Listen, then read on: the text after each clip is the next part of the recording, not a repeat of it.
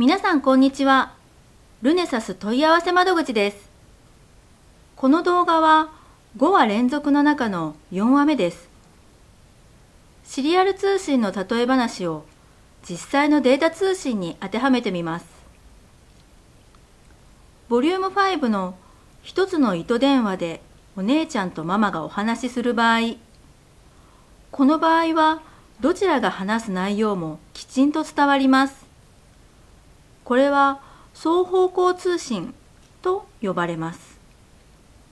英語ではコンプレックス、通信ならデュプレックスを多く使います。ただし通信路は一つだけですので交互に通信せねばなりません。電車で言うと単線みたいなものですね。これを双方向通信の中でさらに半二重通信と呼びます。この場合、通信を行うときに事前の決め事が必要です。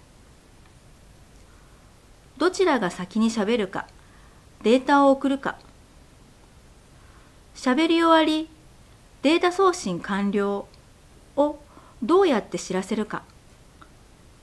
これを決めておかないと、双方向通信を続けることができず、単方向通信になってしまいますね。ここで英会話を習うお姉ちゃんがママをびっくりさせようといきなり英語で喋り出したとします。こうなると何か言ってることだけは伝わりますが言語が違うのでそこから先の通信はエラーとなります。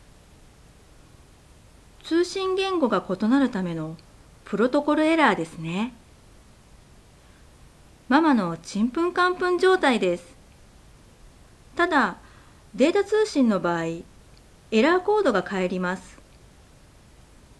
この場合だと、日本語を待っているママに英語を送りました。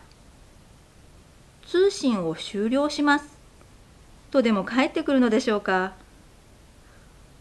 これ以外にも、喋る速度をあらかじめ決めておくとか、今から通信を行うことを伝えるもしもしみたいなやりとりとかプロトコルでそうした部分もきちんと決めておくことで聞き間違い聞き漏らしがない通信が行えます。以上でボリューム7を終わります。引き続きボリューム8をご覧ください。